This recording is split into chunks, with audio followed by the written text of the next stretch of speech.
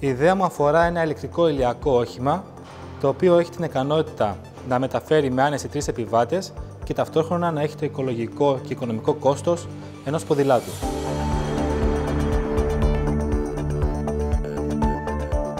Ένα από τα σημαντικότερα ωφέλη του διαγωνισμού της Εθνικής Τράπεζας είναι η αναγνωρισιμότητα που προσφέρει στο project.